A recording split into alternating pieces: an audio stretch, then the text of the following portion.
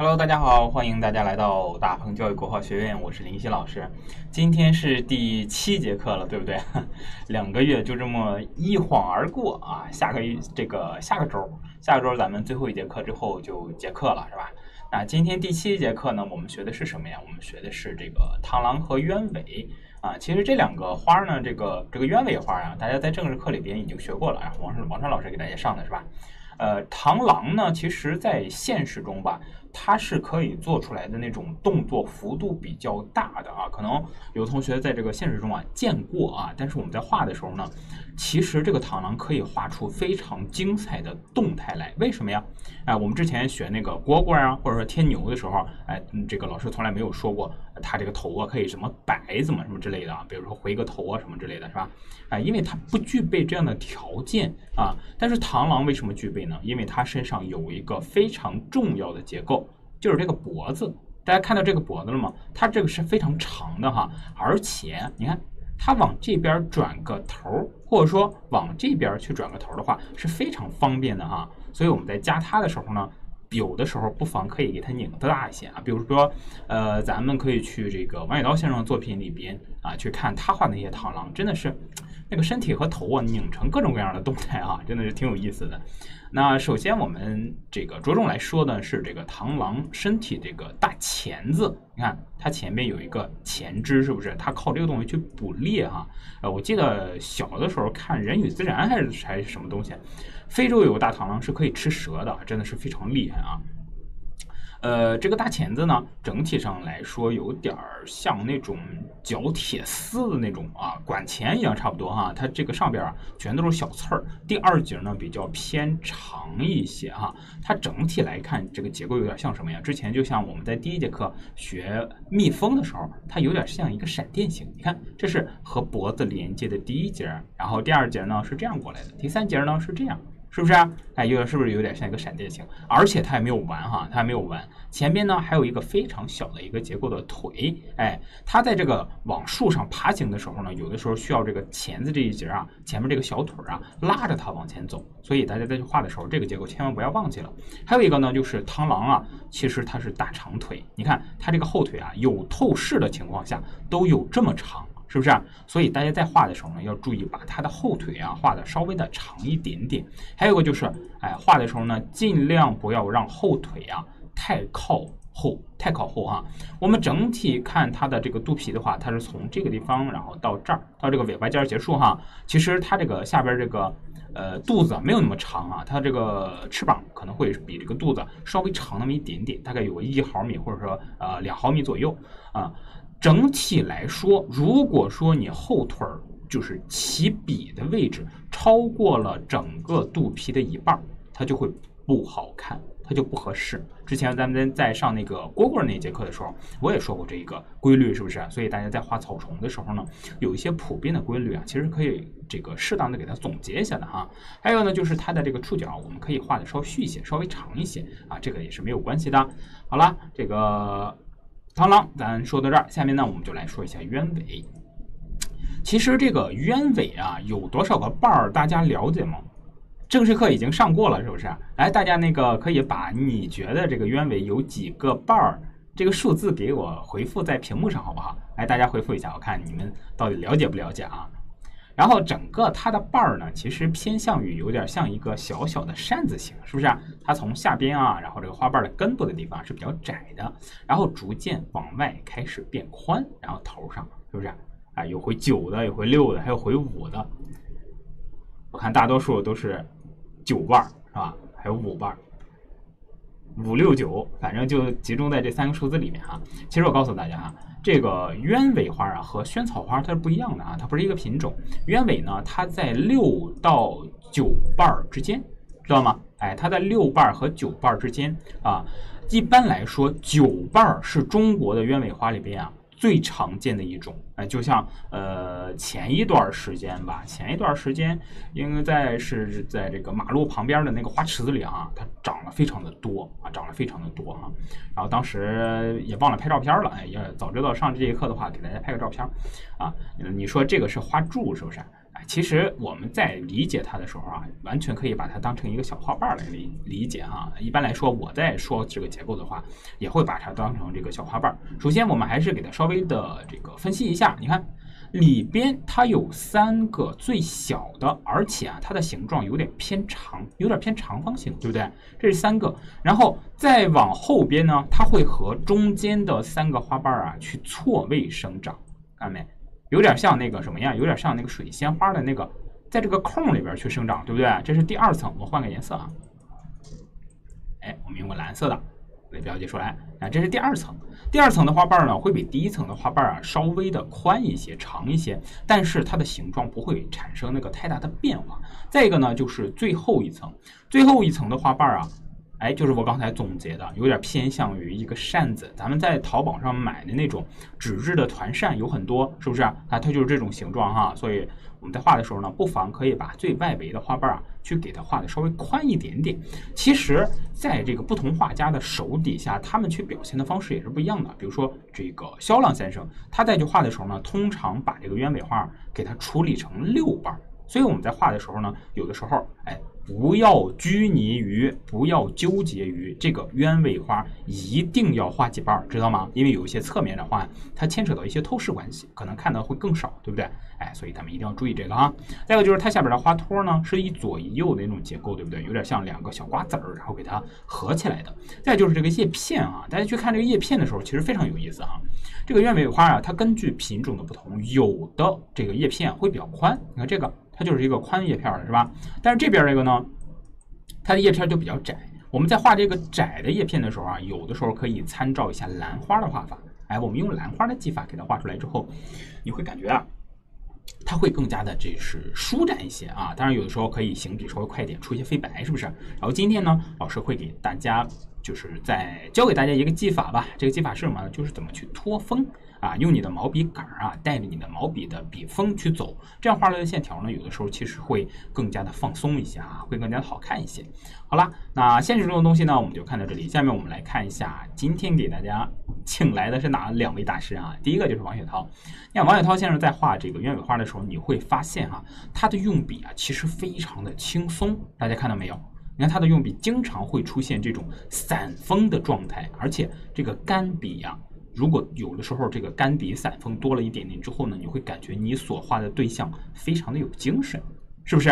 哎，所以我们再去不管是画枝干，还是画这个叶片，还是画花头的时候，有的时候不妨多用一点点这种可比散锋的技法。哎，可以多去就多去尝试啊。再一个就是它下边的花托，哎，刚才我说过了，它是一个偏向于小小的瓜子的两个小花小瓜子儿，是吧？这边一个，然后这边一个，哎，它在现实中是个这个样子的。但是到了名家作品里边，你们去发现没有？它变成了三条线了，对不对？这个也是啊，中国画的一大特点。我们不是这个按照现实中的东西啊，给它画的越像也好越好啊，而是要表达什么呀？表达这个画家的感情和他的一些想法。这个才是最重最重要的啊！你看到了肖朗先生这边，他的这个花托变成什么样子了？它就变成那种很碎的用笔。你看这个线条，看这个线条了吗？非常的碎，是不是啊？而且这个最后可以给它稍微勾一勾纹理啊，这个就是不同的人的不同的表达方式。还有个就是这个肖朗先生这个花头，大家看到了吗？他画的非常的简单哈，你看一个、两个，哎，两个小小的花心儿里边那个重色的，然后外边就三个大花瓣儿。就结束了，只有五个，是吧？所以有的时候啊，还是我前面说过的那句话，不要纠结于一定要去画几个花瓣，主要是让你的画面好看、美观就可以了，好不好？啊，下面我们来看一下今天老师给大家准备的这幅案例啊。这幅案例呢，呃，整体来看呢，它是有点偏向于一个对角线的构图哈，它从这个。这幅画的右下角，然后一直到了左上角，对不对？上面有几朵花啊，而且颜色也是不一样的。呃，还有一个呢，就是这个小螳螂。小螳螂啊，它是位于这个萱草花的下方。哎，其实大家再去画的时候，你即使加完这个螳螂之后，你也会觉得下边这个东西有点空，对不对？啊，它这个地方留的空白还是蛮蛮大的。所以呢，我们需要在下边稍微点一些这种非常细小的台点。等一下，老师也会给大家说一下这个台点该怎么去点，和我们平常点台点的一些方式可能会也会稍微有一点点的不一样。好了，这个废话咱就到这里，下面呢我们就切换一下场景，然后正式进入这个技法分析环节。先倒点墨啊，还是先用墨呀给大家勾一个，好吧？稍微来一点儿。呃，前边其实说过了啊，这个螳螂呢，它的整个的身体结构尽量不要让它太平。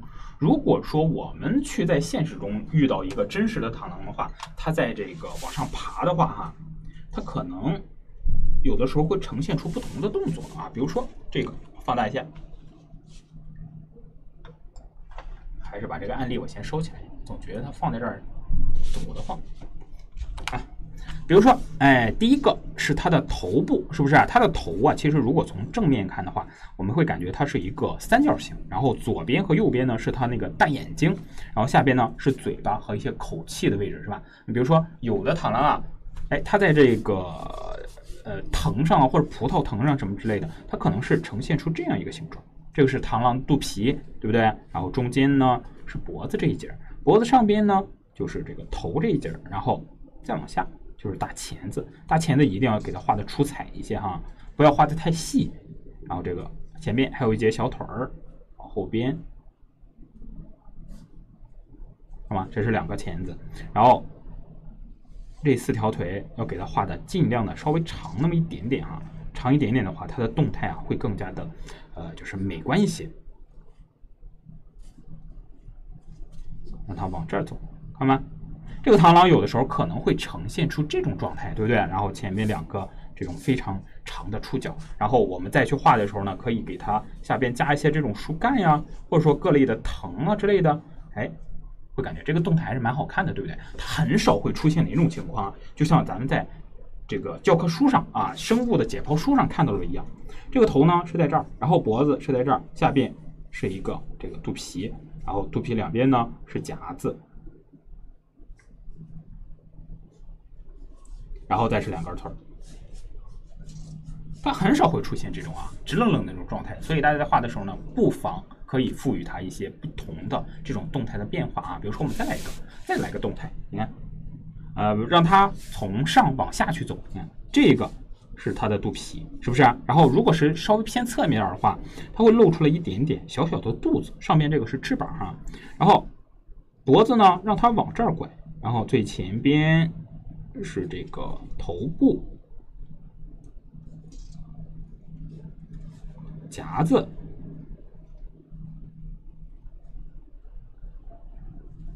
然后后边再是腿，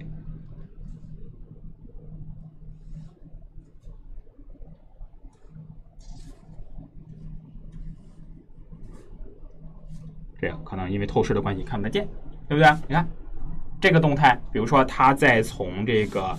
哎，藤上往下去探头，哎，它扒扒在一个这个很很长的藤上，比如说紫藤啊，或者说葡萄藤，然后下边可能会飞着一只小蜜蜂，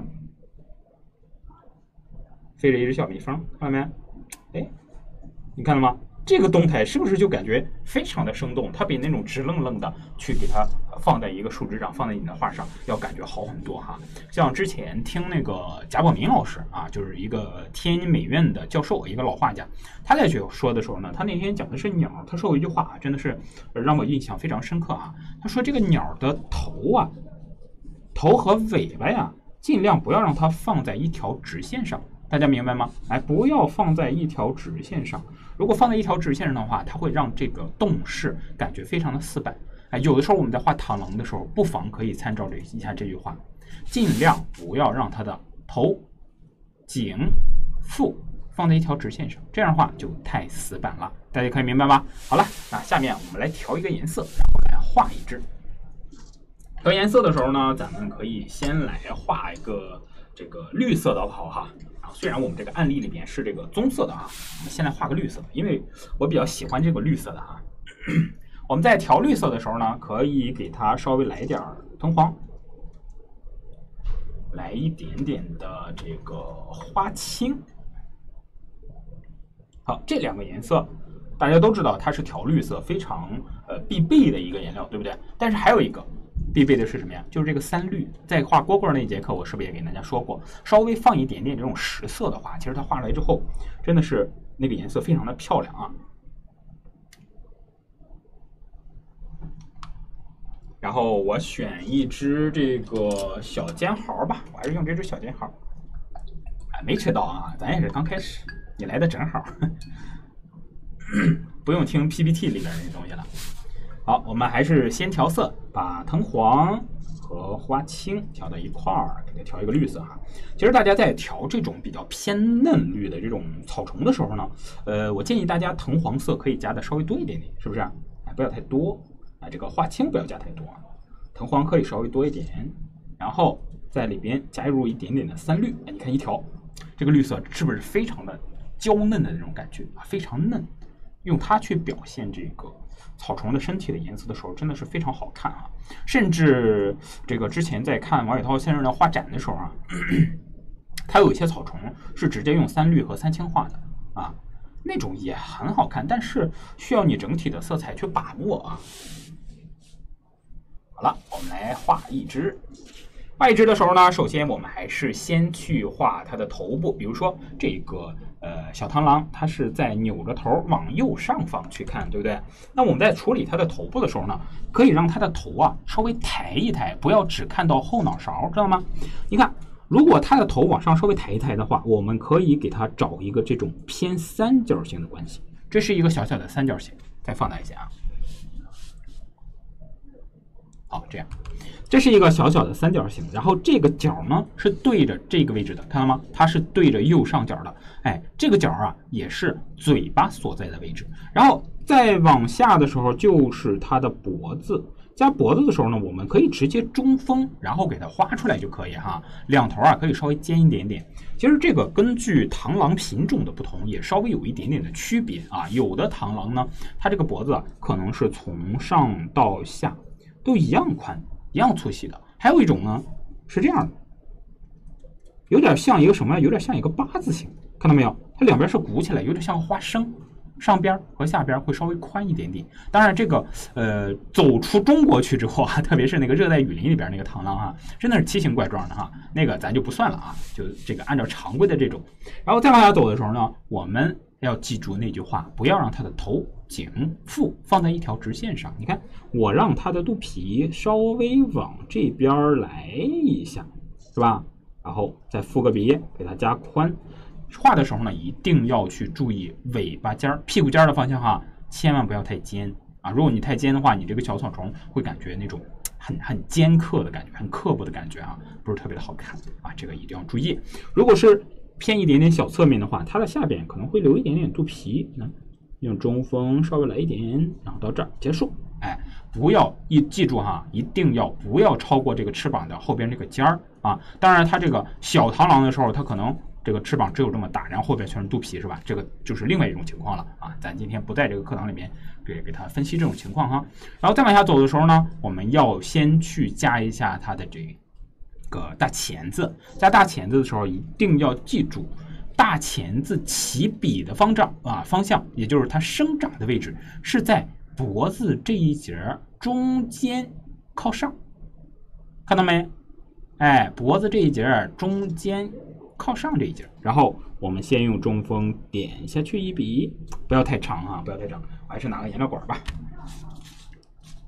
拿个颜料管，哎，放在这儿，让大家对比一下啊。不是昆虫刻薄，是从昆虫的身上反映出来的画画的人的性格刻薄啊。然后再往上就是我们加上它的第二节这个大夹子，一定要记住，这个夹是夹子的主体啊，它要画的稍微宽一些，千万不要太窄。然后再是第三节，让它下来，哎，这个第三节有点偏向于那种钉头鼠尾苗的感觉啊。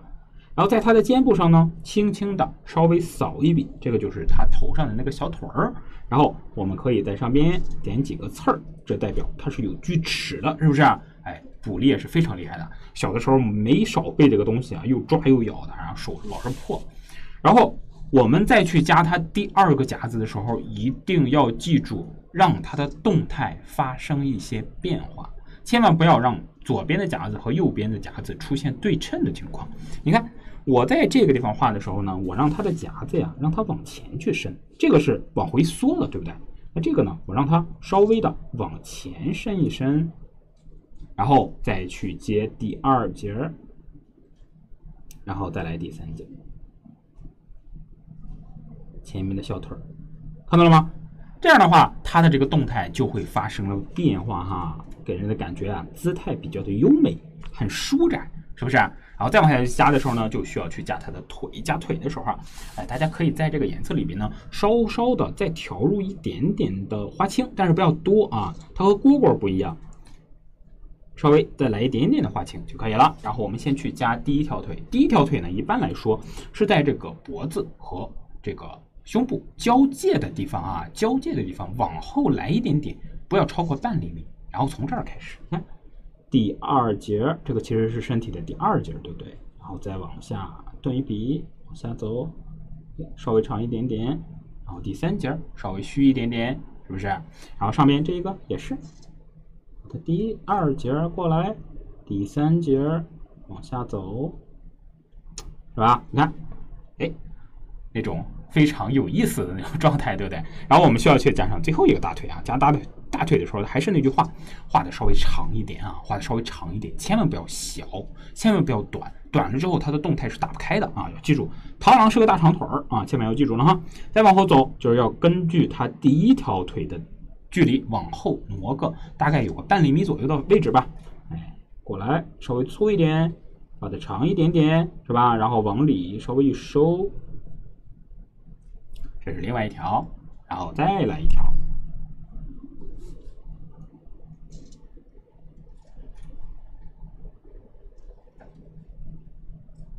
好，然后我们再去画上它的触须。缩小一点，要不然看不看不清全貌了。画它的触须，画这个触须的时候，大家一定要记住哈，线条要虚啊，若隐若现的那种感觉，不要实，实了之后它就不好看了啊。这样呢，啊，我们整个螳螂它身体里边的结构和动态已经画完了，但是现在看上去之后会感觉什么呀？它很平淡，有一些结构是不突出的，对不对？那怎么办呀？就需要我们再去给它塑造一下。是吧？再去加工一下，这个加工该怎么去加工呢？就需要我们在毛笔上稍微蘸一点重颜色，把它身体里边啊最突出的那些结构啊稍微的勾一勾。比如说，我在这个绿色里边稍微的再加一点点的花青，或者说调一点点赭石，甚至调一点点的墨都可以，只要比这个颜色稍微重一点点就行，好吧？然后我们稍微加点花青吧。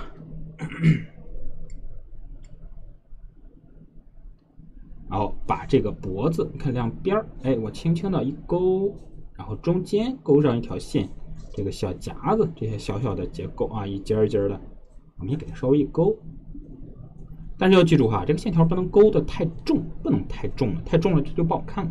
然后两只眼睛呢，在点的时候啊，也是在左边和右边啊，点上两个小点点儿。就可以了哈，然后牙齿周围的啊这个小口气啊什么呢，也给它表现出来。然后再往后走的时候，就需要表现什么呀？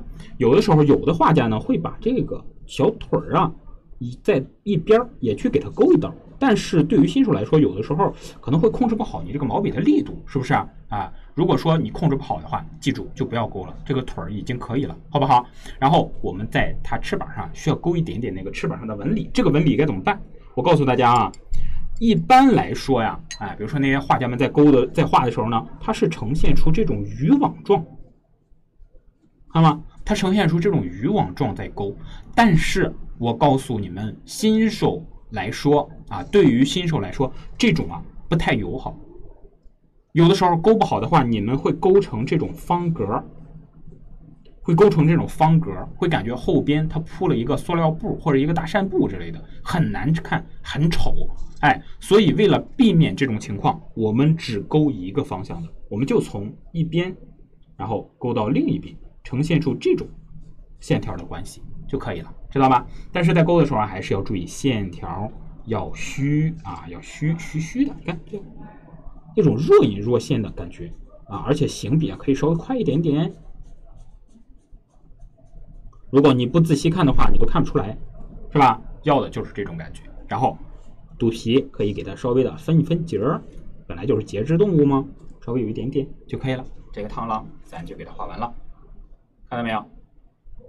是不是有点螳螂在跳芭蕾的感觉？其实刚才我还我还画了一张画呢，刚才画了一个，这个我用的就是那个大师的那种勾法，你可以看清吗？你可以看清吗？我放大一下，这个就是用的最常用的那种网格状的勾的方法，看到没有？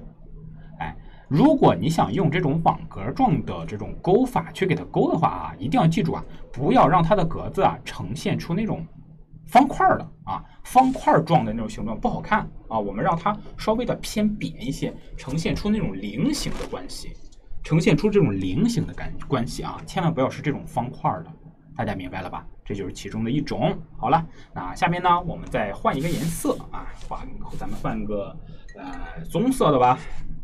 挤一点点的赭石，然后我们用它和墨呀调成一个呃赭墨色，给鱿鱼打花刀的功夫，确实是啊，确实是这种这个切法，还有给那个腰花是吧？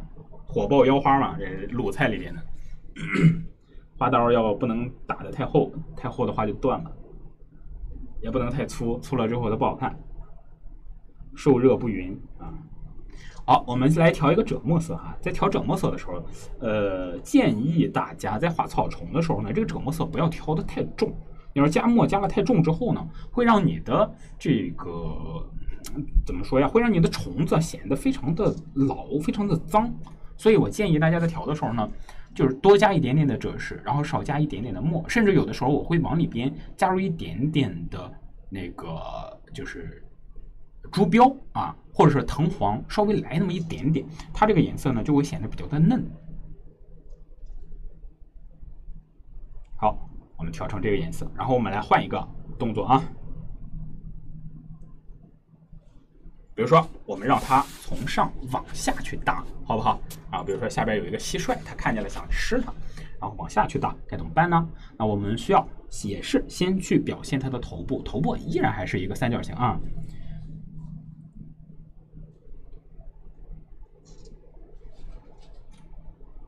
一条横线，然后上边下来，看到吗？这个尖儿就是嘴巴的地方，就是嘴巴的地方。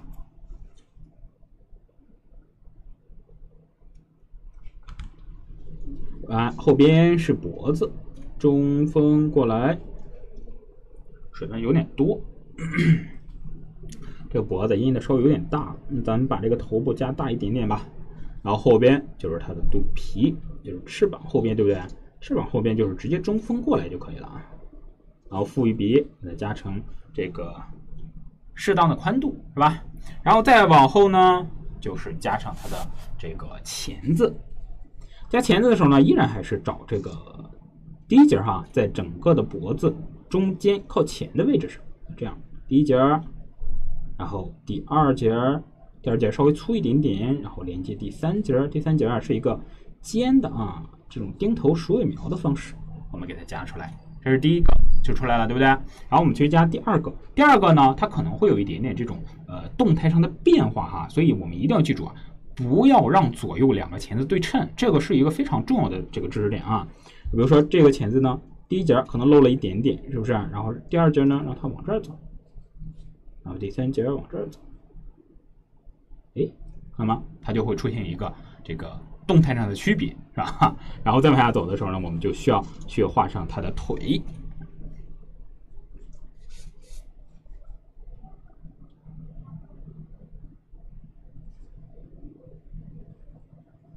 前腿，然后这边的前腿你给它画出来。这个小昆虫的腿啊，有的时候透视是一个小难点啊。有很多同学这个身体结构啊，他很了解，对不对？但是在加腿的时候呢，有的时候加错了，哎，一一下子全毁了。所以还是这个多看一下啊，多看一下，多去给他理解一下。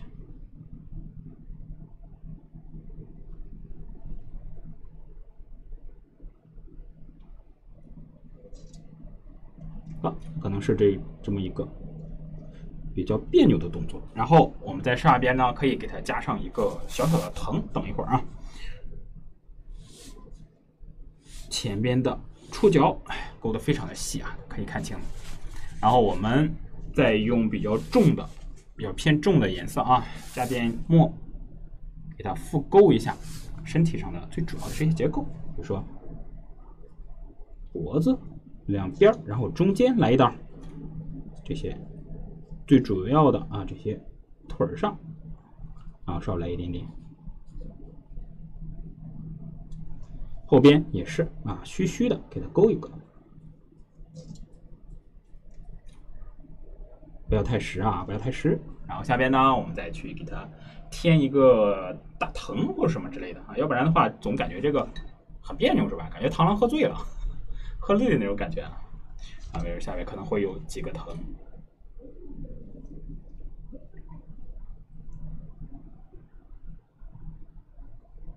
它的练最全。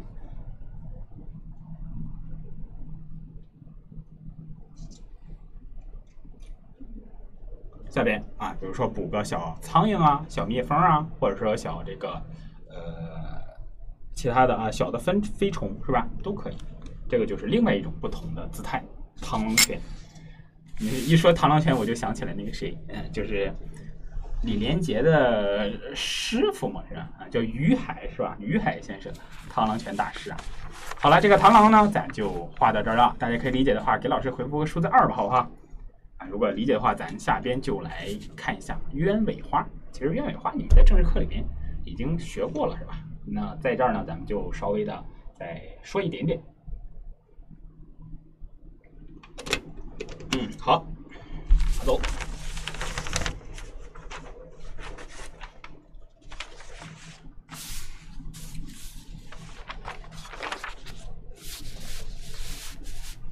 咱们来画一个紫色的啊！大家在调紫色的时候呢，我们可以用那个之前给大家说过的三种不同的蓝色去调出三种不同的这个紫色来啊！你可以这个多去实验一下。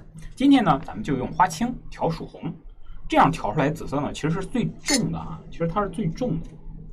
然后来一点花青，再来一点曙红色，拿一支不相关的笔啊，就是这节课啊我们用不到的笔，用它去把这个紫色给它调和起来。调的时候呢，咱们可以把曙红加花青，看往下去调。调的时候啊，可以把它往这个盘子面上给它铺一铺啊。千万不要这个加很多水啊，也不要让它就是直接聚聚成一个球，聚成一个堆，那样的话你蘸色的时候其实不好蘸啊，取色不好取。所以我们直接把它像摊煎饼一样，在这个盘子里面摊开，然后你再用笔去取色的时候就很方便啊，而且很容易出现层次感。好，一定要记住花青怎么办嘞？少加点是吧？不要太太多，加太多了之后你这个紫色会显得有点脏啊。而且很暗淡的那种感觉。好，我们用这个紫色，然后画一个这个鸢尾花啊，整个的这个花型，把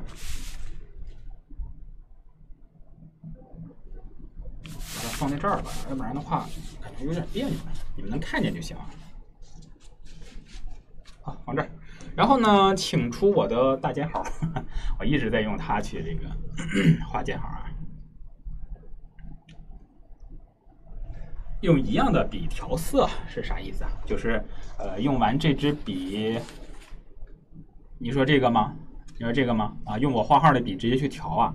对啊，因为洗笔它麻烦呀。我上课的时候，这个这个地方只有一个笔洗的水啊。我如果弄脏了之后，我也没法去换水。那到时候我说，哎，大家等等，我去换个水，不太像话是吧？然后我们取色的时候啊，可以用一下这个这种方式。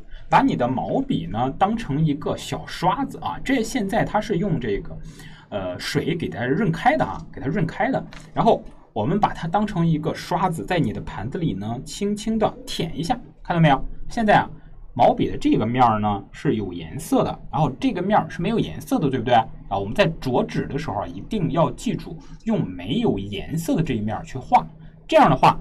你的这个颜色呀，会透过整个的笔锋，然后再出来，它会在里边和水和你的毛笔啊，有一个很柔和的融合的方式，所以你画出来的颜色呢，就非常非常的通透，这是一个非常好用的技法啊。包括以后大家再去画牡丹，或者说画各种那种鲜艳的花瓣的时候，都可以用到这种技法啊。啊，比如说我们再去画的时候呢，还是啊，像我之前告诉大家的那种方式，是不是？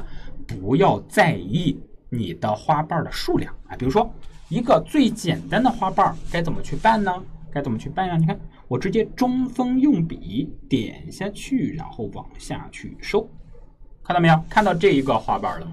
看到这个花瓣，它的颜色层次了吗？我我放大一下。啊，王川老师也这么说的，是不是？哎，所以这个方法经过两位老师的加持啊，经过经过两位老师的推广，大家一定要去用起来啊，真的是非常好用的一种方式。你看现在这个颜色，上边它是一个非常哎浓重的颜色，然后再往下走的时候，还是要根据我第一节课说给大家的那种方式哈，不要让你的毛笔尖从上跟到尾，知道吗？千万不要从上直接给它画到尾啊，这样的话你的颜色是不通透的。哎，所以要把你的毛笔按下去啊，在那个书法里边，我们经常说一分笔、二分笔、三分笔，是不是？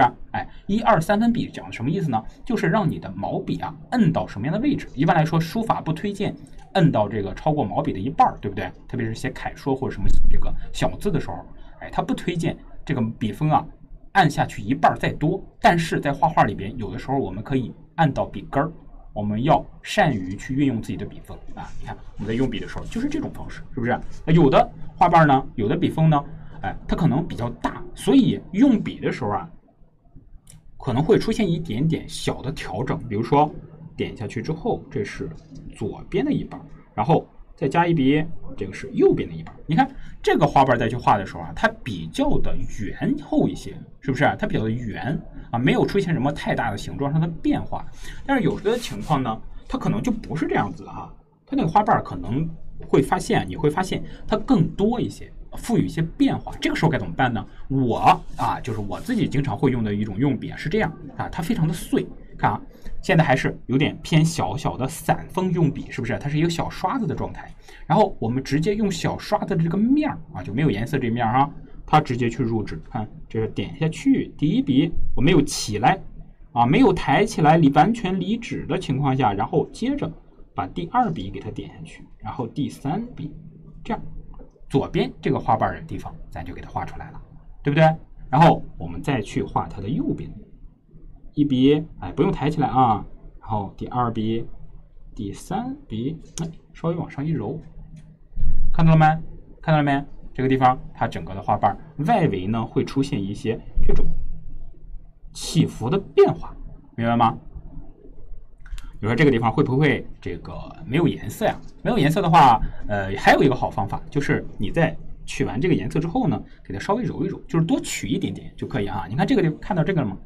它有非常淡的紫色，这个干了之后它也不会没，只不过它会变淡而已啊。这是另外一种。这个用笔的方式，还有一种呢，可能会更简单啊，就是两笔。啊，取笔的时候，取颜色的时候，是不是把这个毛笔啊往下趴一趴，多取一点，大约是取了毛笔笔锋的三分之二左右，然后再去加。比如说这个花瓣是朝上的啊，我们再去加的时候，一笔，然后再去复笔调整它这个花瓣的外围的形状。花瓣的根部呢，可以稍微的留一点点的飞白，然后这样它就出来了，可以明白吗？哎，其实我们在单独用的时候，你有的时候看上去之后它不太像是吧？但是没有关系啊，但没有关系。我们在这个呃整个花头给它组合起来，你就觉得像了啊。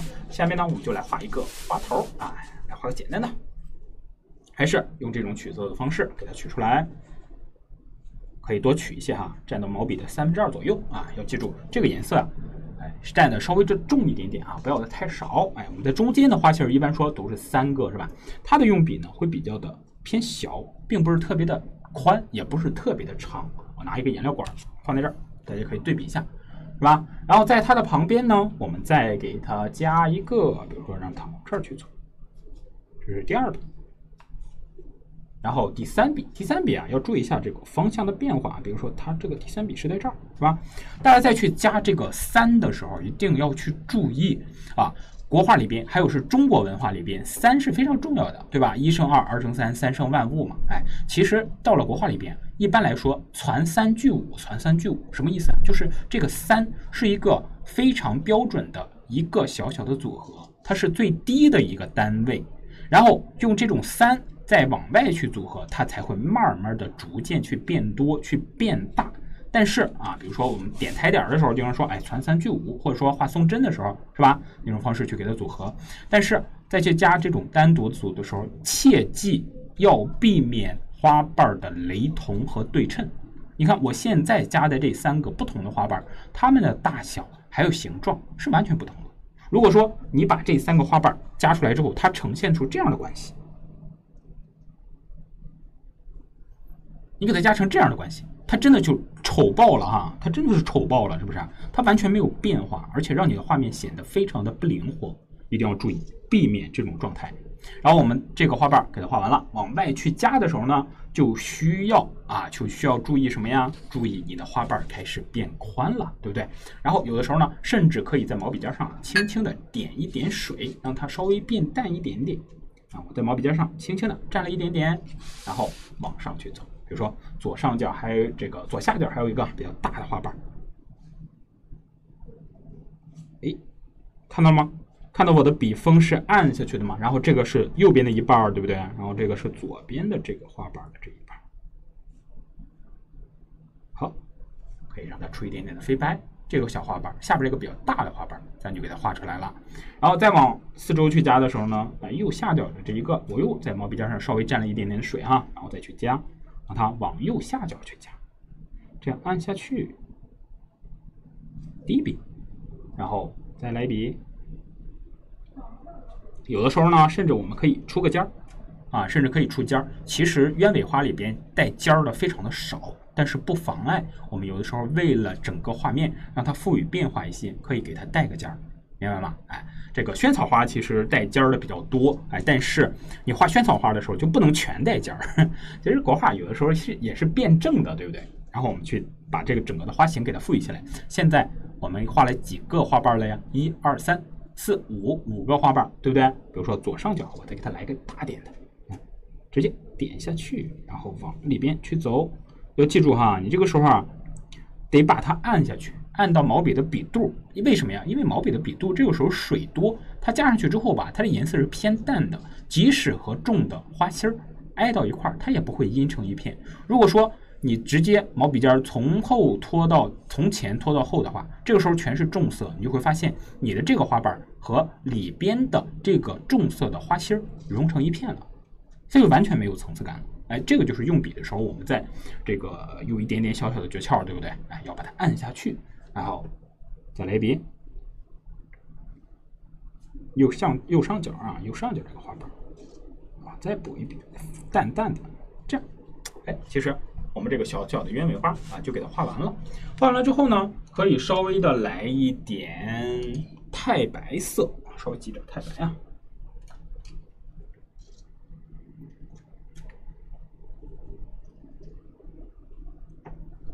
其实我们在勾它的这个呃纹理的时候呢，有的时候我们可以等它半干再去勾啊。现在勾的话可能会稍微的有一点点早。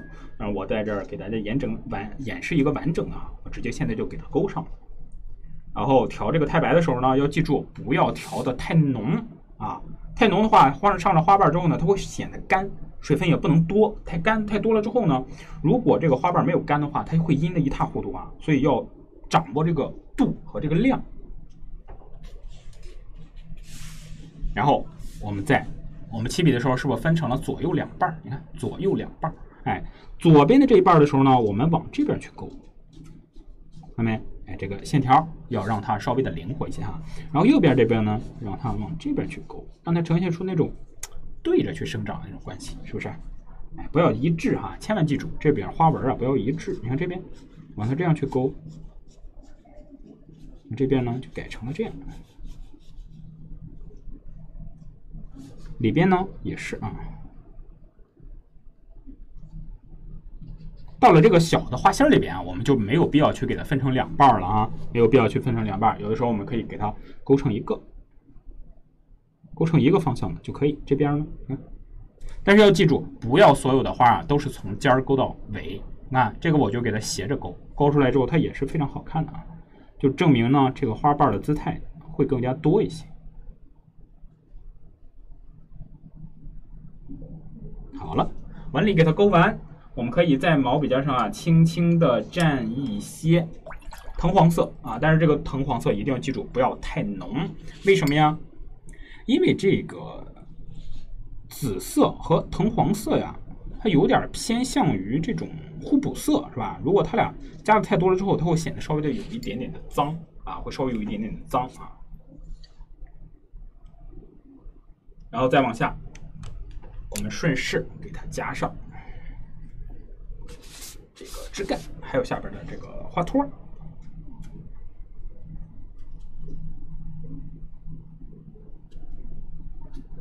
多加点这个花青，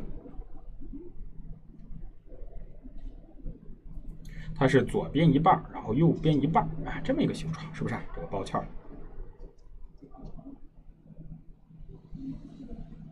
下边实在是这个花毽子啊。我说加什么呢？加这个花苞的时候啊，有很多，哎，花苞用笔其实会更简单一些。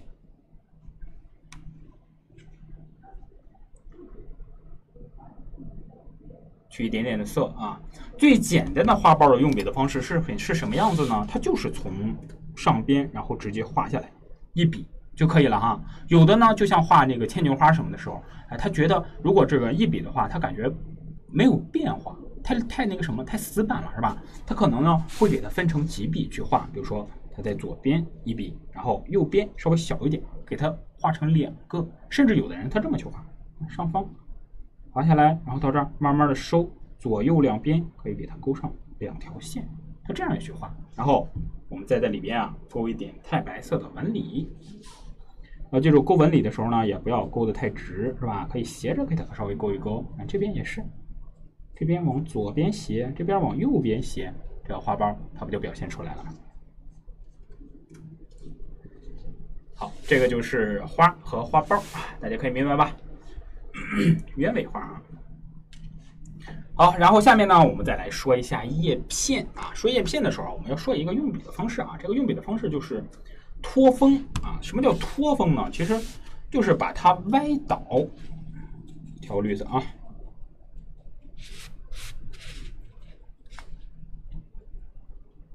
把你的毛笔啊躺倒一下。然后用毛笔杆儿呢，带着毛笔锋去走。你看，在行走的过程中啊，大家有的时候可以稍微的调整一下笔锋，比如说这样，看到吗？在行走的过程中啊，让它出现一些那种颤笔、那种哆哆嗦嗦的感觉。这样加出来之后，你会感觉这个线条还是蛮有质感的，对不对？要切记哈，我们在用托锋的时候不要这样拖。如果你从左边拖到右边的话，你看，整个过程中是没有这种起伏变化的，会让这个线条显得从左到右非常的光滑，非常的滑，对不对？它加出来之后就不够自然。再来一个啊，稍微偏一点点的散锋啊，这种小小散锋的状态，然后用这边过来啊，拖风啊去走，在走的时候呢，我们可以让你的毛笔啊，哎，有一点点这种高低起伏的变化。看到没有？再来一个，这边，哎，收一下笔，看到没有？哎，用的就是这种技法哈，就是毛笔杆儿带着你的笔锋去走，然后在行走的过程中呢，稍微的有或者说你捻一捻毛笔杆儿啊，或者说颤动一下呀，是不是？它出来的线条就会显得非常的灵活，甚至有的时候我们直接逆锋去画。什么叫逆锋啊？就是把你的毛笔啊当成一个红缨枪，直接给它刺出去。一般来说，我们都是这样拖着它走，像拖把一样，是不是？但有的时候逆锋的话，我们把它直接这样刺出去。你看，我从这个地方去画，然后有点干了，这样下去，然后往前去走啊，这样出来的线条有的时候它会更松，更加放松一些，对不对？所以大家在去运用这个笔锋的技法的时候呢，要学会灵活去运用。那这边看到吗？然后右边，比如说我们在画那种很虚的草，荷花里边经常会用那种很虚的草去给它，呃，让它的构图显得更加丰富一些，是吧？有的时候我们不妨可以用这种托锋或者说这种啊逆锋的方式去给它画出来。甚至有的时候加枝干，我们也可以用这种啊，在一些老画家的这个作画的视频里面，大家经常会看到这种技法，他用托风的方式去给它画枝干，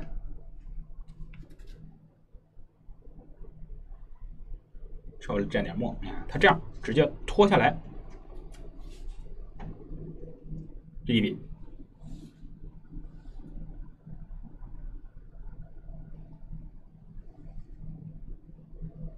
然后到了小枝上，它改成中锋，看到没？这个就是啊，经常会用的。而且这个呃，他们这个枝干画的时候，有的时候不按常理出牌啊，不按常理出牌。哎，哪个地方不好？哎，突然来一笔，他不知道长在哪儿。这笔他不知道长在哪儿，但是他有。哎，所以它最主要的目的呢，其实还是让它整个的画面也好看一些啊，好吧？好，大家可以理解吗？大家可以理解吗？哎，拖笔尖儿，对不对？就你就把它当成一个拖把去用就行了，好吧？把它当成一个拖把，然后直接这样拖着。啊，在过程中一定要注意，让你的线条啊出现一些变化。哎，千万不要太滑，太滑了之后就不好看了，它没有变化的啊，太死板。好了，理解的话，那咱就进入这个案例吧。好吧，案例拿走了。要是有什么疑问的话，画案例的时候呢，大家就提出来啊，我再给大家详详细细的讲一遍，好不好？把它放到旁边。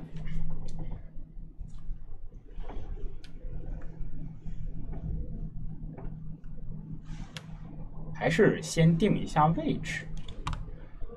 把案例放出来，哎，你看这幅画啊，这个案例里面两朵花呢，它是位于整个画面的上方，对不对？我还是拿一个颜料管放在它的中间哈，来表示它的横中线。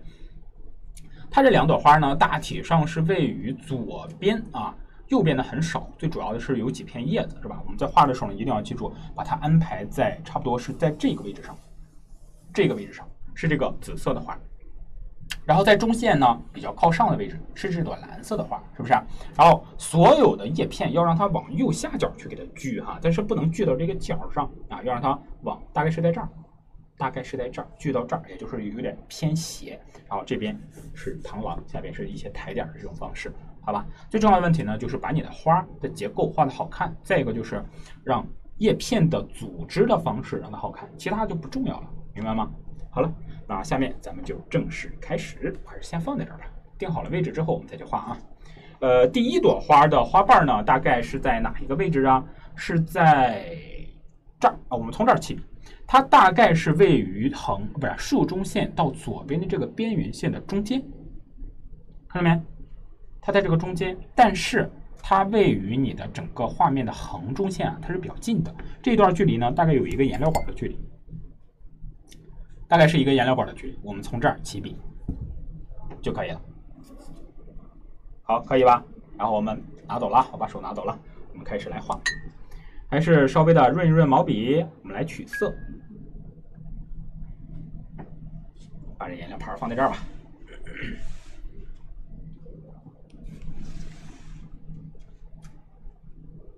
把它当成一个小盘子啊，把它当成一个小刷子、小盘子。然后在一面去取色，然后用另一面去画。哎，其实这个是这个侧页上的纸啊，它并不是特别的吸色啊，所以画出来的颜色有的时候不是特别的透明。我们中锋去用笔，先去画出它的花心儿，从这儿去去起，怎么样？从这儿开始啊，就是刚才我们定好的那个位置。我们先来一笔中锋，点下来，然后放大。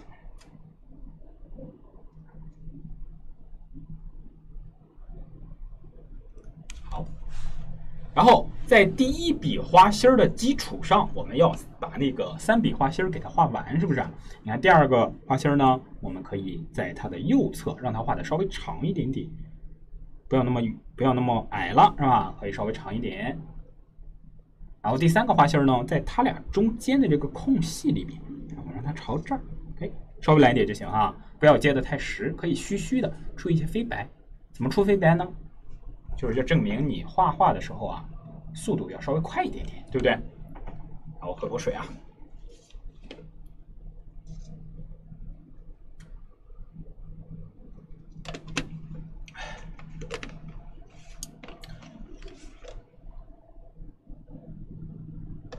紫色怎么调的呀？紫色就是花青加曙红，花青不要加太多啊，加太多了之后它会显得暗啊，有点黑，是吧？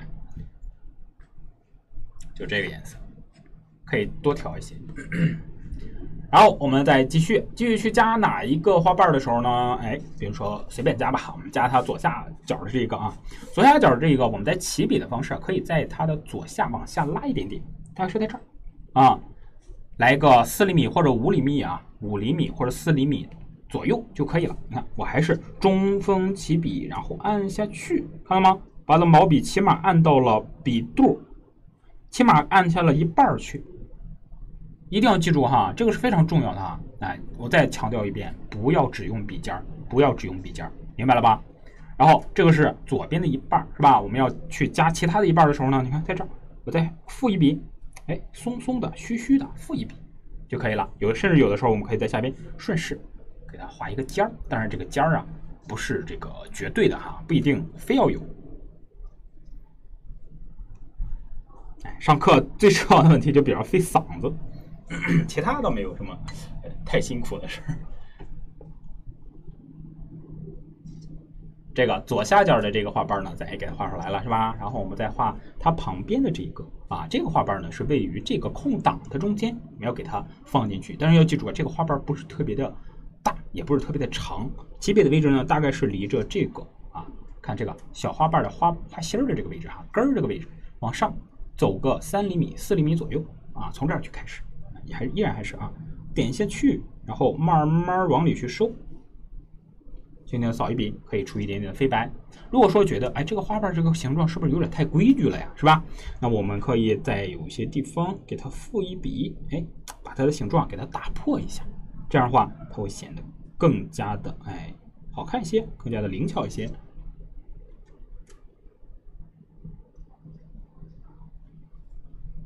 再沾点颜色，我又沾了一笔紫色啊，放这儿吧，看不见。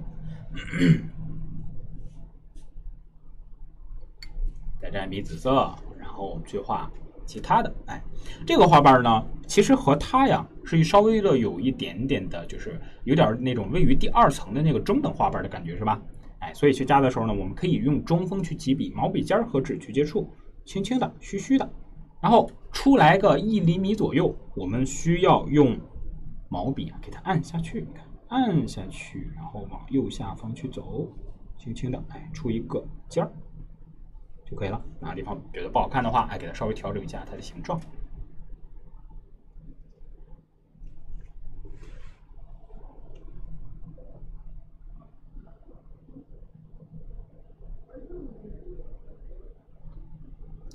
可以跟上吧。然后我们再把下边这一个花瓣儿给它画出来。这个花瓣在画的时候呢，还是用了一下呃我常用的那种笔法。这个笔法比较的碎啊，大家在继续加的时候呢，要记住，呃毛笔尖儿啊，尽量不要去离纸太多次，离纸太多次了之后吧，它会显得稍微的有一点点的碎啊。我们可以在毛这个吸水纸上啊，看轻轻的给它碾一下，把它碾成一个散封的状态，看到吗？它是一个小散封，很别扭，对不对？然后用它去加的时候呢，会让你的花瓣啊出现很多飞白的地方。一笔两笔，然后这样往上来，看到没？不要让毛笔尖尽量不要离纸太多次啊。然后它的另外一半也是，稍微来一点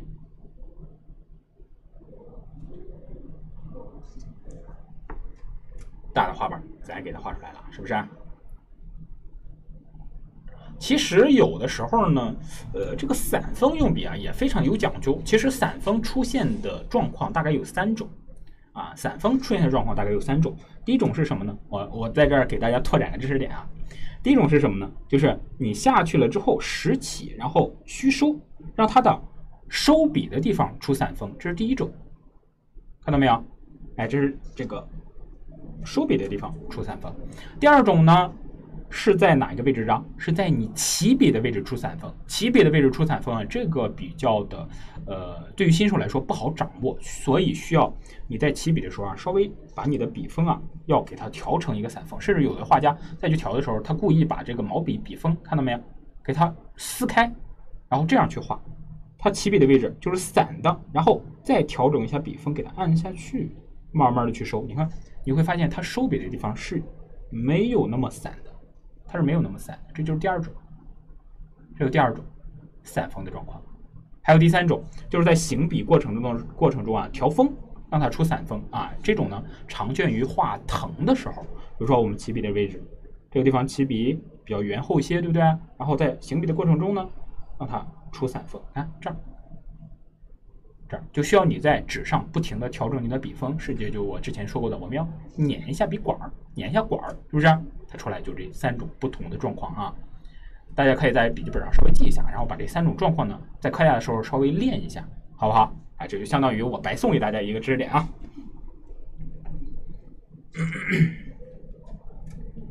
然后我们再继续把这朵花给它画完啊，还有一个花瓣啊，这个花瓣呢是在哪个地方？是在这儿。我们从它这个地方啊，依然是中锋去行笔啊，画的比较的窄，是吧？然后按下去，这是这一瓣，然后再在它的旁边，我们再附一笔，就是另外一个小小的花瓣就可以了。甚至有的时候，哎，说老师，我觉得这个花瓣不是特别的丰满，我觉得这个花型不是特别的丰满，是不是？那就在毛笔上啊，稍微蘸一点点的水，觉得哪个地方不够丰满呢？用这种非常淡的紫色啊。用这种非常淡的紫色，你看，轻轻给它补一笔，这边也是，啊，轻轻的补一笔，你会感觉这个淡色有和没有啊，它起到的作用是完全不一样的，对吧？你看加上这个淡色了之后，它会感觉整个的花型会显得更加的满啊，不是那么的松。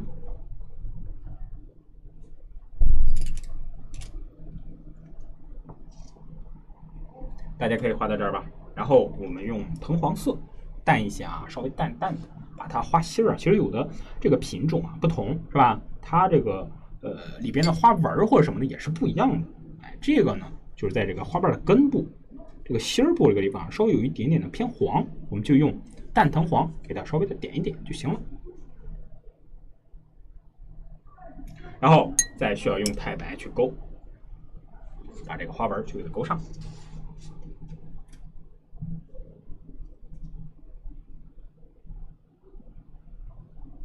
把这个白调开啊，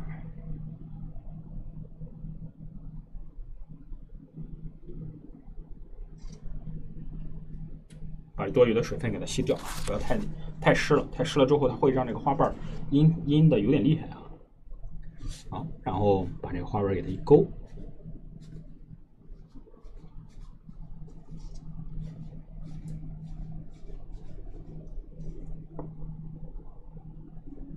这些也是啊，一块给它勾上。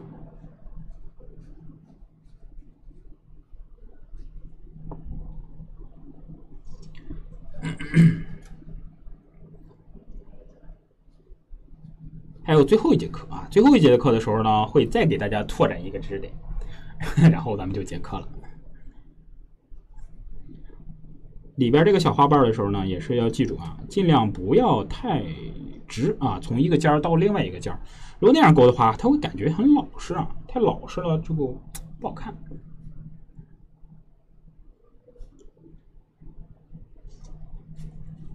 下节课呢，给大家讲一讲这个几种不同的液晶的勾的方式啊，比较常见的几种，好吧？应该到现在为止，有很多同学也是非常。就是困惑这个事儿是吧？这个液晶到底怎么样去勾才好看啊？其实怎么说呀？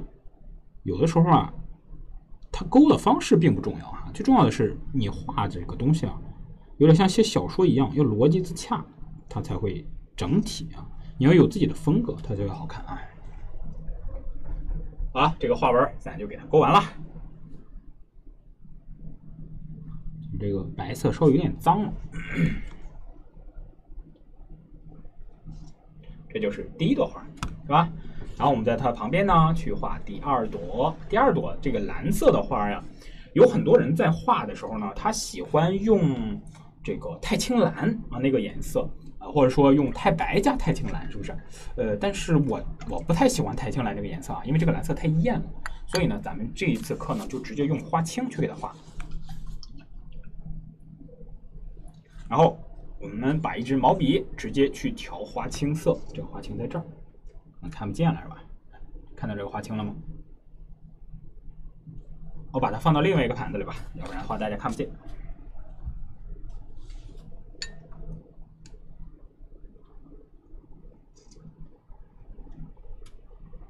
稍微挤一点点，然后还是先调淡花青哈。你看，先调淡花青，我为什么要先调淡的花青啊？大家明白吗？我先要用这个淡的颜色在毛笔上打个底儿，是不是啊？这样你再去蘸浓的话呢，它会出现出现一个这个颜色的层次，而不是说从上到下全部都是一个色儿。笔锋调到四分之三左右啊，它都是淡的花青。然后上纸之前呢，在你的毛笔的笔尖上啊，稍微的蘸一点点浓的花青啊，非常的少，大概是占了呃这个整个毛笔笔锋的四分之一左右吧。我们从它这样去开始，当然可以用咱们之前刚才教给大家的技法啊，你在一边去蘸花青，然后用没有花青的这一面去给它这个着纸，让它和纸接触，这样你再去画的时候，它会显得更通透，是吧？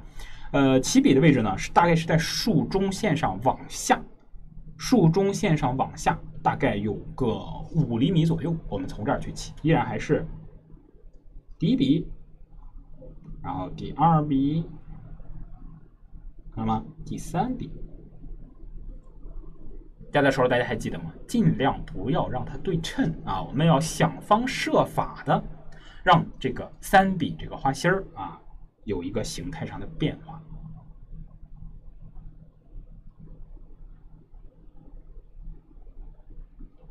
然后我们可以在毛笔尖上啊轻轻的蘸一点点的水，让它变淡，然后在周围呢补一些啊这种层次的。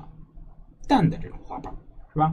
这样的话，它整个的花型会显得更加的丰满一些。补了两个，左边一个，右边一个。你看，在补它俩的时候也是不要对称，对不对啊？时刻提醒大家不要对称啊。然后我们再去加上其他的。其实不光是这个什么啊，这个。世界上没有两片相同的叶子，对不对啊？其实两个相同相同的花也没有啊，所以我们要让它赋予变化一些。然后我们先加右边这个花瓣吧，啊，先加右边花瓣，从花瓣的这个根部的位置依然还是中锋起笔啊，稍微细一点，对不对？然后往外走个一厘米半左右，我们用毛笔给它按下去，揉一下笔，慢慢收起来，这个就是花瓣的一半然后在它的对面，我们再。过来，可以出个尖儿，是吧？不出也可以哈。这个花瓣尖儿并不是说一定的，但有的时候稍微有呢，它会调整整个花的节奏。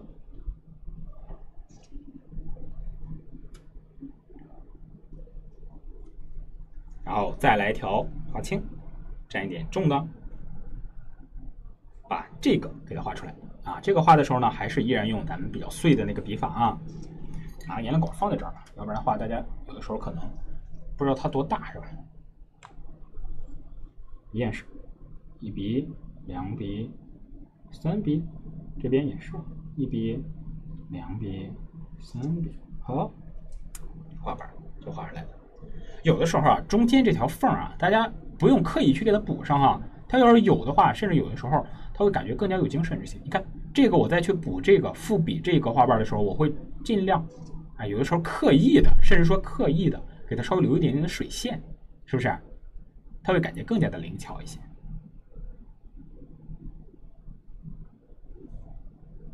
还剩最后一个花瓣，咱也给它加上。它在这个啊，这个角，就这个花瓣和这个花瓣中间的这个空档里滑下去。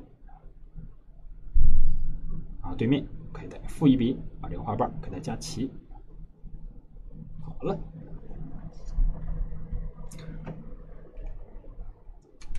再用白粉给它勾一下纹理就可以了。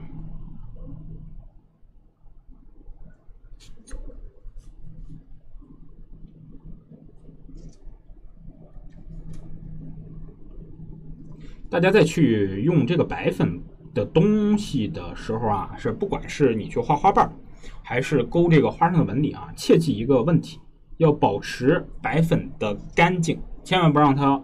这个脏了啊，特别是里边掺上墨，这个白粉就没法用了，一定要在新盘子里去调。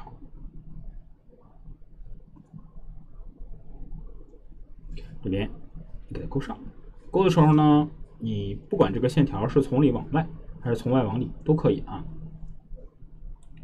甚至可以稍微的用一用笔，让它见笔，不要太软。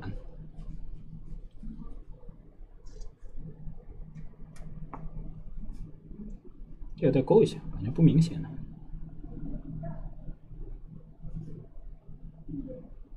好了，稍微蘸一点点的藤黄，加个小花心儿。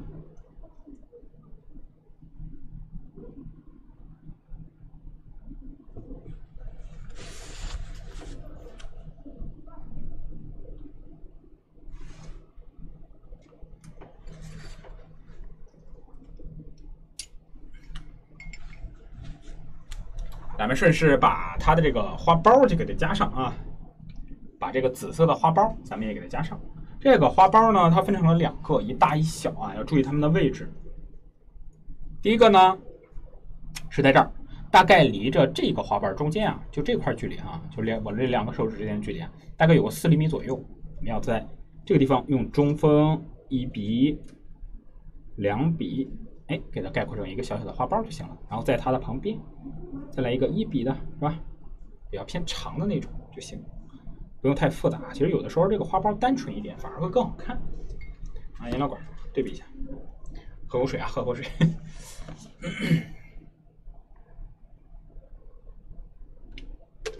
哎呀，我记得周周三那天啊，不是周三那天，周二那天上课的时候我忘了带水了啊，最后讲的我口干舌燥的。好，大家可以跟到这儿吗？跟到这儿的话，而且画完的话，给老师回复一个数字三，行不行？然后这个我看多少同学跟着我画完了。好，顺便我们把这个纹理给它勾出来啊。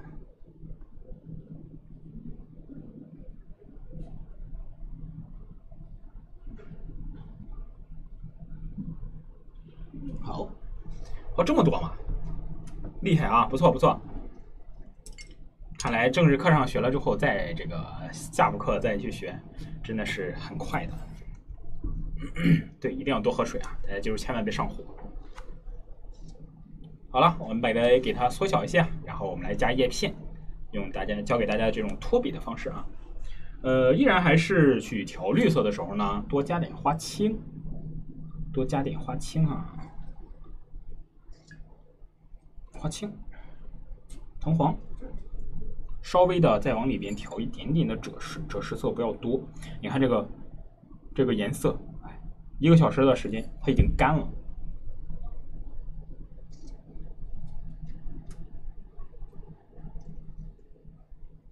好，这个绿色差不多啊，刮一下，然后咱就开始。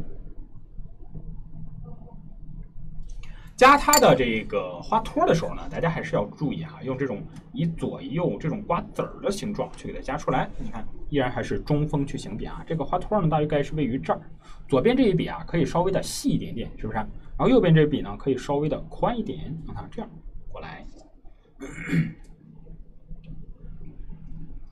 山鸢尾山茶月季不好学是吧？哎，它整个的花型其实有的时候会稍微的有一点点的抽象，是吧？月季其实它和这个，嗯，怎么说呢？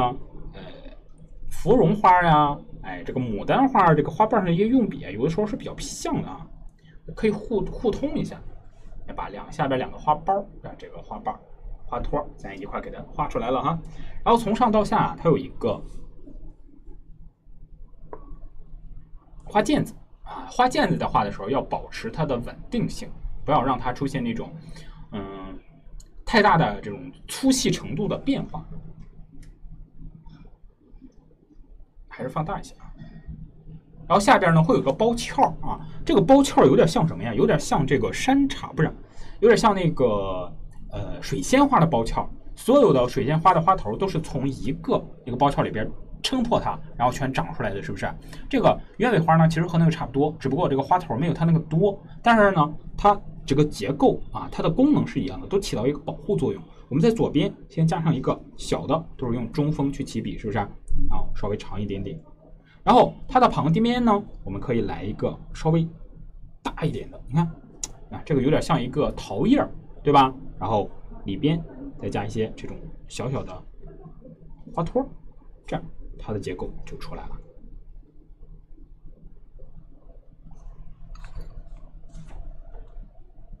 要让它有那种怎么包裹的感觉啊，它反而会更加的好看一些。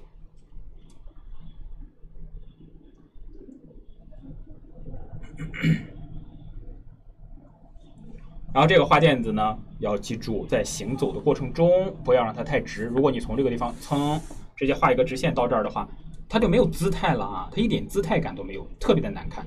所以让它在行走的过程中，首先往这边弯，然后再往这儿走。这样的话，它会有一个姿态感啊，就像一个美女一样，是吧？啊，如果这个美女的身材从上到下全部都一样宽的话，啊，她说不好看，所以让它有一点点的曲线，它才会更加的美观。这个也是，看过来，然后先往外走，然后再往里走，往这儿收。这个地方呢，大概就是位于你的指的，那么这个地方这个块距离啊，大概有一个八厘米左右。这块呢也差不多，也就是说在下方啊留一个八厘米宽的正方形，差不多就可以了。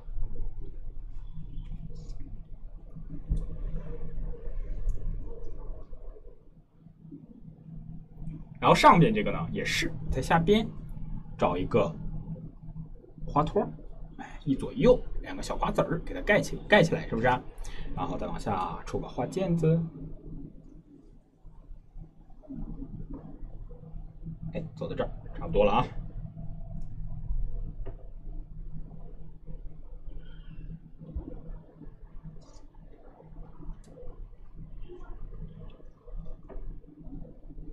然后我们再去加叶片，缩小一些。加叶片的时候啊，我们可以完全用那种呃一笔长两笔短的那种方式去给它加啊，就是咱们画兰花的那个行笔的规律嘛，是不是那个口诀？但是在加的时候呢，要记住哈，它的叶片啊比兰花要宽，稍微宽那么一点点，而且用一下这种托风的感觉，它出来之后会更加的自由一些哈。呃，这些叶片攒根的位置呢，要记住比它要低啊，它离着这个纸啊，大概这个边缘啊，留个三厘米左右就可以了哈，不要留的太高，留太高的话，它下面就会显得空的。然后第一笔，我们来画这个拐弯的，你看这个拐弯的起笔的位置其实是在这儿啊，它非常的低，是不是？然后它会往这儿走，然后拐一个弯儿，然后再往下边去交起来啊，它是一个这种形状。你看我在画的时候，依然还是用一下这种托风的感觉啊。毛笔躺倒了吧，然后笔杆儿带着我的这个笔锋啊去走，你看按下去到这儿，要注意行笔过程中可以出现那种稍微的变化一下，是不是？或者说稍微的抖动一下，这样出来的叶子呢，它会显得更加的灵活一些啊，更加的灵活。这是第一笔，一笔长，两笔短。第二笔呢，我们就让它往这个地方走，哎，它。花毽子右边拉，哎，拉过来，离着这根花毽子大概中间有个一厘米左右的距离啊。从这儿开始起笔啊，甚至有可你可以超过它也可以啊，超过它或者和它平齐都差不多一样。然后往这儿去走，好了，画下去。两笔短，要记住攒根。这个就非常窄了哈，这个并不是特别的宽。来，拿个颜料管吧，我来对比一下这个叶片。啊不不到一个颜料管的宽度，但是也差不了太多。这个就非常的细，和花间的差不多，应该有个三毫米左右。这是第二笔，是不是？然后第三笔，三笔破凤眼，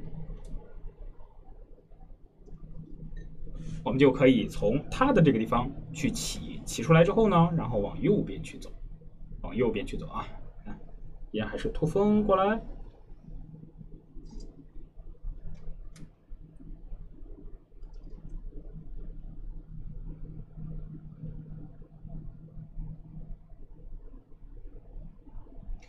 这三笔啊，其实在组织兰花的时候啊，它都是一个最基本的单位，是吧？我们在加其他的这个呃整个的组合的时候呢，也是用这种方式哈。比如说，我们先来加个一笔长的，这个呢非常长哈，它要穿过这个花瓣，从上到下，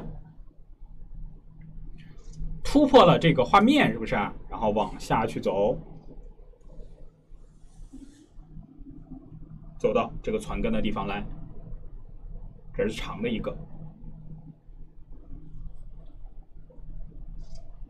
然后两笔短，哎，第二笔短的呢，可能比其他的要稍微长一点点啊。它从这个地方开始，这是第二笔。然后第三笔呢，可能从这个地方出来，是吧？你这样这样，我们用了两个组合，是不是？其实就是六根线，哎，我们用了六根线给它组合起来之后，你就会感觉这个地方其实非常的茂密了，已经。哎，你用这种一笔长两笔短三笔破风眼的方式给它组合起来之后，你会发现你的所有的叶片不乱，对不对？它不是特别的乱，哎，这就是最这个古人的这个智慧的结晶，对吧？然后我们再去加的旁边啊，要有一些装饰性。如果不去加的话，这个地方会显得稍微的有一点单薄啊。你看，再去加线的时候，有时候我们可以也可以稍微随意一些，是吧？你看这个这两个，然后左边的也是让线条稍微利索一些，随意一些。然后甚至有的时候，我觉得，哎，这里边这个呃层次感还是弱，还是稍微有点弱。那我就在毛笔尖上稍微蘸一点点的水，稍微蘸一点点的水啊。然后在里边再找找哪个地方觉得不好看，是吧？层次感少，再给它找一找。这样之后，它就会又增加一个层次。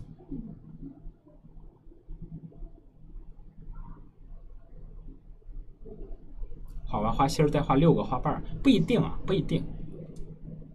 有的呢，你像这个，呃，那个谁，肖朗先生啊，他画完花心儿之后，再画三个大花瓣儿就行了，他就整个画成六个。整体还说，还是那个问题啊，不要纠结于它到底有几个花瓣儿，整个让它好看，整个花型好看起来就可以了。然后下边我们要把花这个叶茎啊，给它稍微勾一勾。呃，之前给大家就是说过啊，其实我之前上课的时候也给大家说过，嗯，其他的这种勾叶茎的方式，它是整个全部勾满，是不是啊？但是这个呢，我们不勾满了，我们只勾一个主筋就行了。你看，从头到尾，只勾一个主筋就行。但是要注意，你的主筋啊，不要全部位于这个叶片的中间，也不要非要拘泥于啊，它很均匀。你看到这儿它断了，对不对？然后再往下走的时候呢，我再从这个地方开始，然后这边，哎，整个从上到下差不多就可以了，明白了吗？然后上边也是啊，你看这，给它稍微勾一勾，甚至有的勾到这个叶片的一侧了，也可以。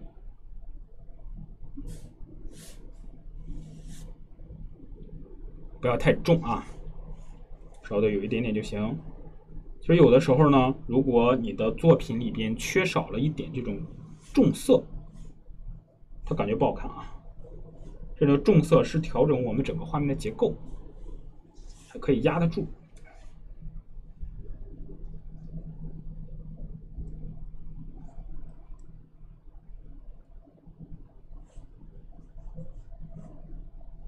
好，勾差不多就行了啊，不要勾太多。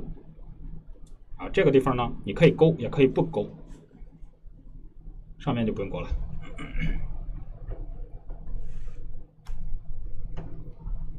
咱们这个鸢尾花就画完了。画完了之后，我们再来画这个螳螂。这个螳螂呢是在这个位置上啊，它是在这儿。起笔的位置呢，大概是位于你。这个竖中线往左啊，有个七厘米左右。从这儿，它的头在这儿，然后离着这个下边这个距离呢，应该是有个一料一个颜料管左右的这个宽度就可以了，好吧？然后我们放大，画一个呃，还是一个褐色的哈，画一个赭墨色的，就不要画绿色的，因为叶子本身就是绿色的。你要再画上一个绿色的，它就稍微有点雷同啊，突出不出来了。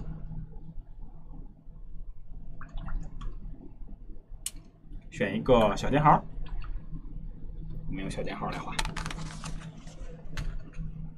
调色的时候呢，还是要注意那个问题，墨色不要加太多，加太多了之后啊它会脏，是吧？啊，这个墨色沾的有点多了。这时呢，可以适当的稍微多一点点。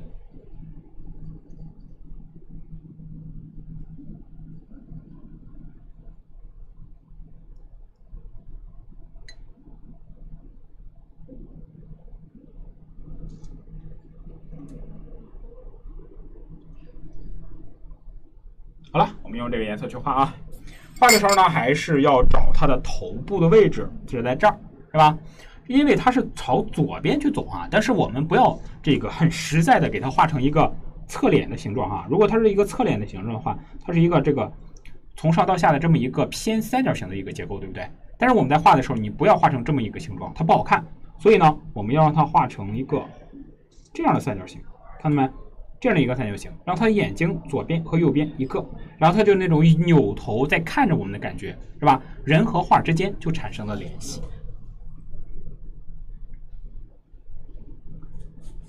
哎，画一个小小的三角形，下边的尖儿呢朝着地，也就是它嘴巴的位置，稍微有点小啊，再大一些。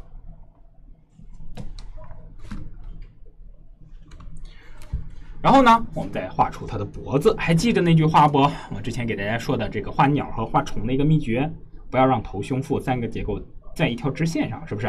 哎，但是这个也是分不同的这个虫的哈。你说这个，呃，天牛头、胸、腹不在一条直线上，它也不可能啊，因为它本身长得就是在一条直线上，它也分不开，是吧？哎，我们让这个脖子稍微往下来一点点，然后再让这个肚皮呢往上翘一点。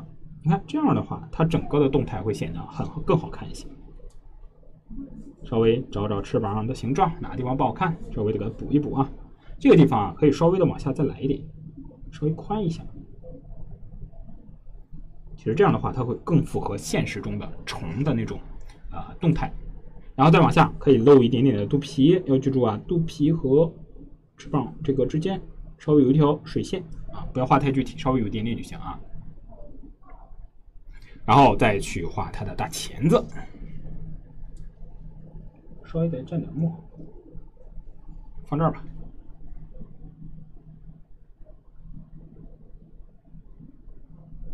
钳子还是仍然要避免动态一致，中间这节稍微宽一点，然后第三节儿，哎，接上它的腿，然后中间钳子上边的这个小锯齿啊，也给它一并点出来了，是不是？然后另外一个钳子要让它的动态发生变化啊，千万不要对称啊。这个第一节让它往这儿来一点点，然后第二节呢让它往上去走，再是第三节。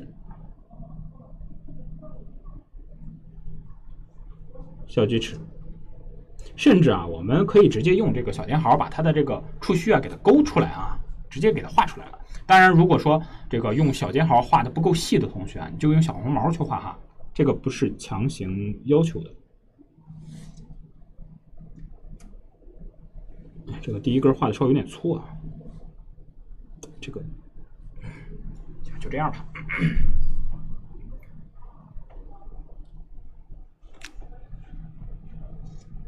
一失手画粗了，然后我们再去画出他的腿。画腿的时候呢，还是要注意那个问题，要注意它的动态要好看。哎，第一个腿儿可能在胸部哎交界这个位置往后推个半厘米左右，大家还记得吗？第一节点下来非常的短，然后第二节可能是朝这个方向，因为透视的原因啊，这节可能会显得稍微有一点点的短啊，但是现实中它是没有这么短的，就是因为透视。好，最后一节，螳螂的脚过来，再来一个后腿儿，要记得后腿是大长腿啊，后腿是大长腿，画的稍微的长一些。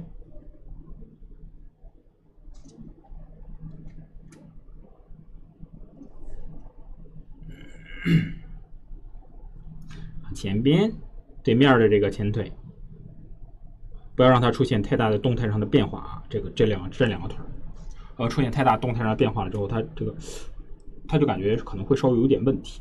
最后，哎，三角形还记得吗？后边稍微来一点点，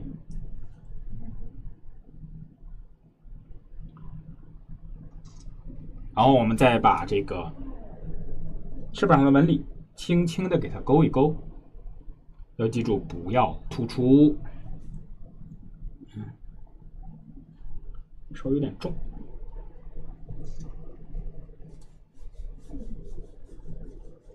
好，稍微有一点就行啊。啊，甚至有的时候呢，我们在它的边缘啊，可以给它勾一勾，哎，勾一勾，是吧？再勾一个纹理。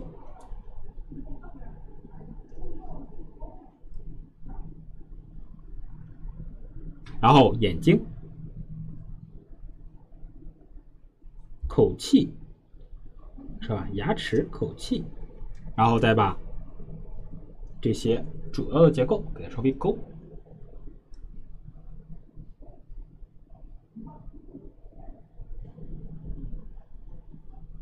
这个也是钳子，稍微来一点。这边腿，如果说没有把握的话，就不要复勾了哈。这样就可以了。有把握的话，你的手稳，你再去复勾。好了，小螳螂咱就给它画完了。正在打螳螂拳的一只小螳螂，是不是？然后我们可以给它稍微的加一点点抬点啊，要不然显得太空了。那抬点的时候该怎么办呢？就需要我们用一个这个笔锋比较大的笔啊，拿个大尖毫，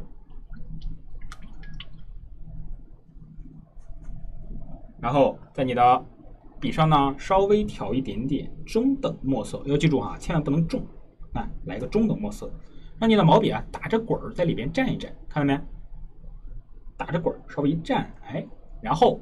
上纸之前，要在吸水纸上再来拧一下散封，拧成这种散封，看有点像麻花打卷儿这种状态，对不对？然后我们用侧锋轻轻的在上面一顶，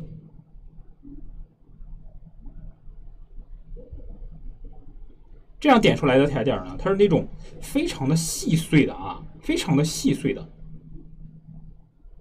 有的时候呢，我们的画面里面可能就需要一些这些这种东西，啊，之前呃大家学的那种，比如说这个荷花、荷花荷荷塘里面那种点子啊，那种浮萍的点子，或者说这个嗯这个树枝上的点子，都是非常实在的，对不对？这种呢就比较偏虚啊，要记住啊，千万不能点的大，你要是点的太大了之后，它就不好看了啊。稍微有一点点，好了吗？要记住分组，不要点的太多。不要太多，哎，差不多就可以了。甚至有的时候啊，那有的画家在加完它之后呢，还会在上面提两个小草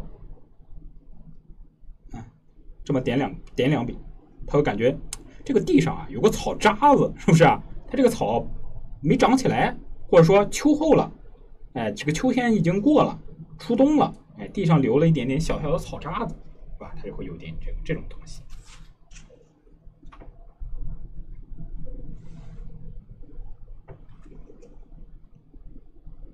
然后我们缩小一下，它就是这个样子的。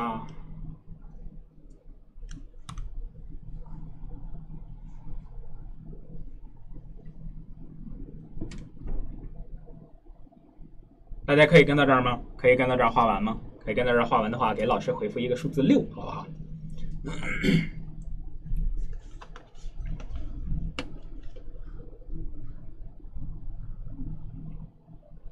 嗯。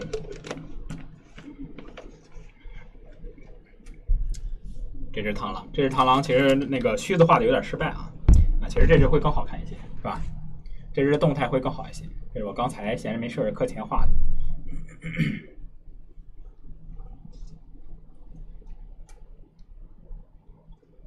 是吧？这是它整个的动态会显得更舒服、更灵巧一些，而且这两个虚的画的那种虚笔啊，用笔那种若隐若现的感觉会更好一些啊。